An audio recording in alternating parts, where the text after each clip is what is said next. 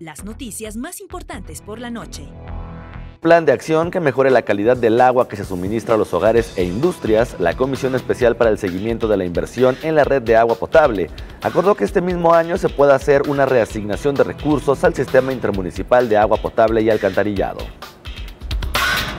Hoy inicia la primavera y con ello el calor y la escasez de agua.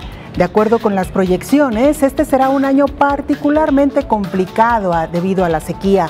El gobernador Enrique Alfaro pidió a la población cuidar el líquido, pues no hay acciones que alcancen para cuidarla si no lo hacemos juntos.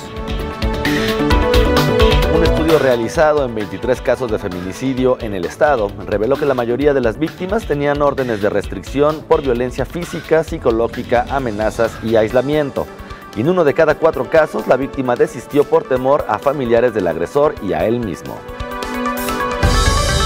El cine es de las opciones más populares y menos costosas para disfrutar del ocio en el próximo periodo vacacional, pero ¿está al alcance de todos?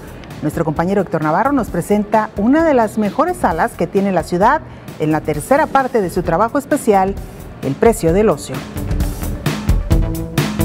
En temas nacionales, el Instituto Nacional Electoral retiró las candidaturas plurinominales al Senado de Movimiento Ciudadano para los estados de Jalisco y Campeche, al señalar que no se cumplen el criterio de paridad de género y eligió en sorteo a los sustitutos. Con esto quedaron fuera Alberto Esquer y Eliseo Fernández. La Fiscalía de Nuevo León confirmó que son entre 5 y 10 los cuerpos encontrados la noche de ayer en el municipio de Pesquería algunos de ellos calcinados y otros en avanzado estado de descomposición.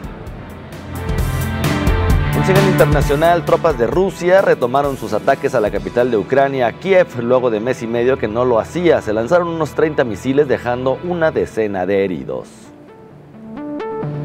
Se cumplen tres días de labores para rescatar a los 13 mineros atrapados en el lejano oriente de Rusia. Se prevé que por lo menos permanecerán otros tres días más. Y en los deportes, esta noche la selección mexicana de fútbol se juega el pase a la final de la Copa de Naciones de CONCACAF en contra de Panamá. Por su parte, Estados Unidos, una de las selecciones más fuertes, derrotó 3 a 1 a su similar de Jamaica.